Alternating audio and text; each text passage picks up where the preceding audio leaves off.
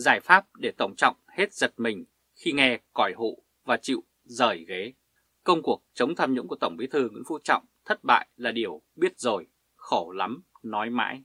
Nhưng vấn đề cấp thiết hiện nay là liệu có giải pháp nào để vượt qua hay tối thiểu các lãnh đạo Việt Nam ở mọi tầng lớp, mọi cấp, từ trung ương đến địa phương bơn bớt chuyện ăn không tử thứ gì của dân hay không.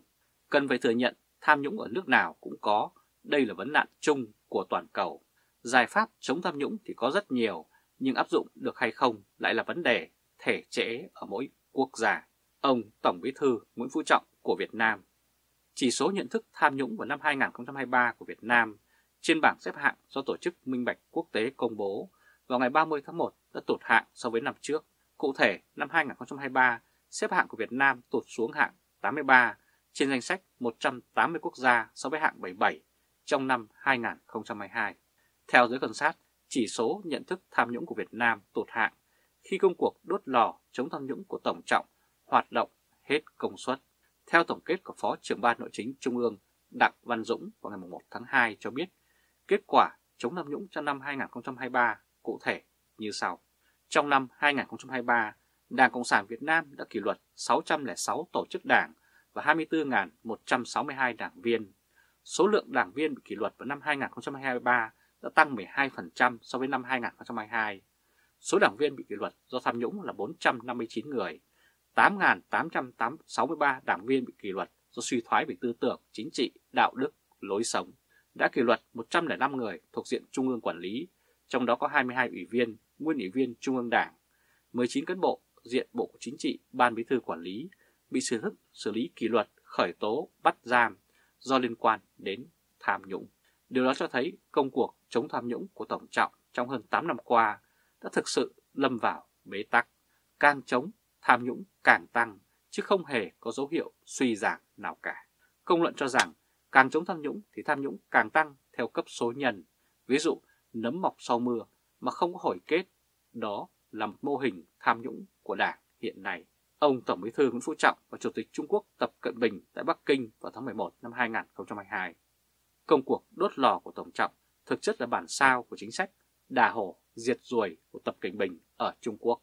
Song trên thực tế, công cuộc chống tham nhũng của Trung Quốc đã đạt được kết quả đáng kể, vượt xa Việt Nam. Việc ông Chu Vĩnh Khang, nguyên ủy viên thường vụ Bộ Chính trị và phụ trách công tác nội chính của Trung Quốc mà còn bị Tập Cận Bình cho bắt giam thì thấy ban lãnh đạo Bắc Kinh rất mạnh tay. Ngược lại ở Việt Nam, công cuộc đốt lò của Tổng Trọng chỉ nói nhiều chứ không làm mạnh. Ông Trọng đã nhiều lần tuyên bố rằng chống tham nhũng không có vùng cấm, không có vùng tránh, nhưng thực tế ông né tránh vùng cấm rất nhiều. Thậm chí ngay từ đầu ông Trọng đã chặn họng các cơ quan chống tham nhũng bằng chỉ thị, đánh chuột không để vỡ bình. Để giải cứu cho các quan tham, Tổng Trọng đã đưa ra chủ trương nhân văn như cán bộ nào đã có sai phạm rồi tự giác xin thôi, tự giác xin nộp lại tiền thì mình miễn xử hoặc xử nhẹ, không phải cứ xử nặng thì mới là tốt. Cách trước hết tất cả mới là tốt. Vậy thử hỏi làm sao Việt Nam có thể chống tham nhũng cho được? Tài sản tham nhũng của các quan tham được cơ quan công an thu hồi. Nhà báo Lưu Trọng Văn mới đây đã có một status đăng trên trang Facebook cá nhân với tiêu đề Hết giật mình khi nghe còi hụ.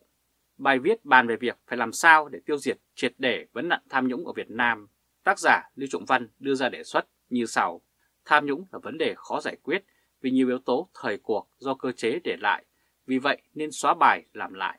Tính thời điểm nào đó sẽ không hồi tố tội tham nhũng bất cứ ai nếu tự nộp toàn bộ số tiền hối lộ tham nhũng và quy tiền hối lộ tham nhũng. Tên của người nộp này được cam kết giữ bí mật. Sau thời điểm đó, bất cứ ai bị phát hiện không nộp đầy đủ tiền hối lộ tham nhũng thì sẽ bị truy tố với án thật nghiêm khắc. Nếu trên 500 triệu thì bị đi tù 20 năm đến trung thân, trên 1 tỷ thì bị tử hình.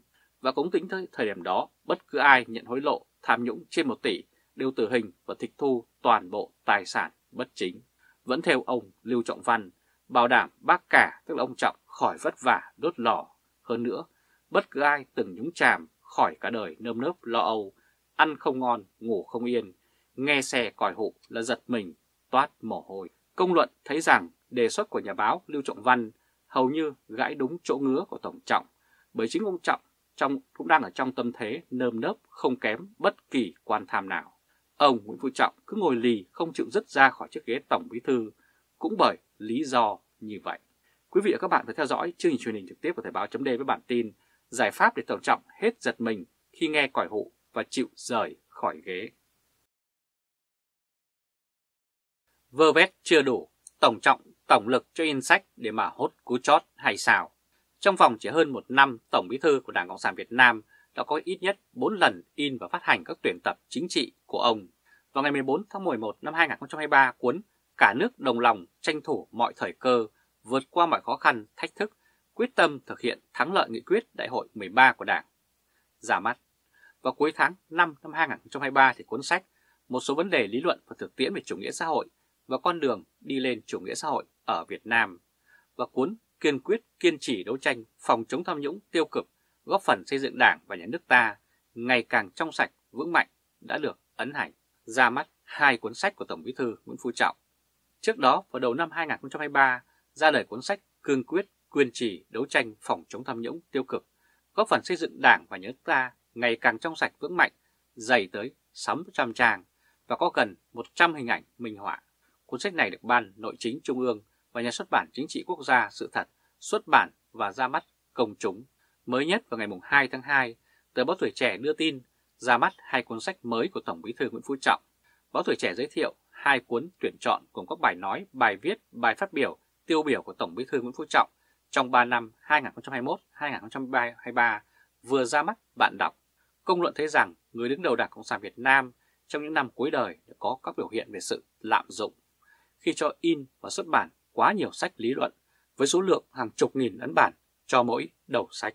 Đồng thời, công luận đã đặt câu hỏi sách chống tham nhũng của Tổng Bí Thư cho in đưa ra cho ai đọc đây. Cộng đồng mạng còn nêu nghi vấn theo đó Tổng Trọng lấy tiền ngân sách để mà đánh bóng tên tuổi của chính mình trước khi kết thúc sự nghiệp chính trị. Quan trọng hơn, việc này sẽ mang lại cho Nguyễn Phú Trọng một lượng tiền nhuận bút không hề nhỏ. Đó là chưa kể chi phí cho việc tổ chức các buổi lễ ra mắt rầm rộ và không ít tốn kém tiền thuế của người dân. Tổng Trọng là người được cho là nổi tiếng với công cuộc chống tham nhũng hay còn gọi là đốt lò. Theo tổng kết của Phó trưởng ban nội chính Trung ương Đặng Văn Dũng thì trong năm 2023, Đảng Cộng sản Việt Nam đã kỷ luật 606 tổ chức đảng và 24.162 đảng viên. Số lượng đảng viên bị kỷ luật vào năm 2023 đã tăng 12% so với năm 2022. Số đảng viên bị kỷ luật do tham nhũng là 459 người, 8.863 đảng viên bị kỷ luật là suy thoái về tư tưởng, chính trị, đạo đức, lối sống. Đã kỷ luật 105 người thuộc diện Trung ương quản lý, trong đó có 22 ủy viên, nguyên ủy viên Trung ương Đảng. Trong số này có 19 cán bộ diện Bộ Chính trị. Ban Bí thư quản lý bị xử lý kỷ luật, khởi tố, bắt giam do liên quan đến tham nhũng. Điều đó cho thấy công cuộc chống tham nhũng của Tổng trọng trong hơn 8 năm qua đã thực sự lâm vào bế tắc. Càng chống tham nhũng thì càng gia tăng tham nhũng, không hề có biểu hiện suy giảm. Phòng chống tham nhũng tiêu cực ở Việt Nam thực chất chỉ mang hình thức nhằm đánh bóng tên tuổi cho Tổng Trọng mà thôi. Hai cuốn sách mới ra mắt của ông Tổng Bí thư Nguyễn Phú Trọng rất tốn kém. Việc cho xuất bản và phát hành các ấn phẩm, lý luận của Tổng Trọng về việc chống tham nhũng, thử hỏi có lợi ích gì ở đây. Công luận lâu nay vẫn có luồng ý kiến đánh giá và nghi ngờ Tổng Trọng không trong sạch. Thông qua việc ông Trọng từ chối không chịu công khai tài sản theo quy định của Đảng. Chính sách phòng chống tham nhũng của Đảng Cộng sản Việt Nam không coi trọng việc kiểm soát tài sản của các quan chức, công chức, các cơ quan của Đảng và Chính phủ đã ban hành rất nhiều quy định yêu cầu lãnh đạo phải kê khai đúng, đủ các biến động của tài sản hàng năm. Thậm chí thời hạn kê khai là 6 tháng đối với các công chức công tác ở những ngành nghề dễ tham nhũng. Vậy mà Tổng Trọng không chỉ không gương mẫu để nêu gương. Cụ thể, chiều ngày 17 tháng 6 năm 2018, Tổng Trọng cùng các đại biểu Quốc hội thuộc đoàn Hà Nội đã có buổi tiếp xúc cử tri tại quận Cầu Giấy. Ông Trọng đã phát biểu rằng vấn đề kê khai tài sản cán bộ là vấn đề rất khó, nhạy cảm bởi nó liên quan đến quyền đời tư, quyền bí mật cá nhân. Ông Tổng Bí thư của Đảng Cộng sản Việt Nam cũng đã ngồi đến 3 nhiệm kỳ, hoàn toàn sai trái so với điều lệ của Đảng. Đó là một phát biểu mang tính tránh né, không chịu kê khai tài sản theo nghị quyết của Bộ Chính trị và Ban Bí thư. Nếu Tổng Trọng thực sự trong sạch, không tham nhũng, không có những tài sản bất minh, thì tại sao không dám kê khai tài sản, lại viện dẫn là liên quan đến quyền đời tư, quyền bí mật cá nhân. Điều đáng lo ngại hơn đó là sau khi ông Nguyễn Phú Trọng in hàng loạt sách như việc kể trên, thì Bộ trưởng Bộ Công an Tô Lâm và Bộ trưởng Bộ Quốc phòng Phan Văn Giang cũng nói theo. Hai ông này cũng cho in những cuốn sách dày hàng trăm trang với tựa đề dài dằng dặc như khẩu hiệu không hề thua kém. Quý vị và các bạn vừa theo dõi chương trình truyền hình trực tiếp của Thời báo chấm với bản tin Vơ vét chưa đủ, tổng trọng, tổng lực cho in sách để hốt cú chót hay sao? Quý vị và các bạn hãy chia sẻ video này cho nhiều người biết và bấm nút theo dõi YouTube và Facebook của Thời báo chấm để luôn được cập nhật những bản tin mới nhất, nhanh nhất và trung thực nhất.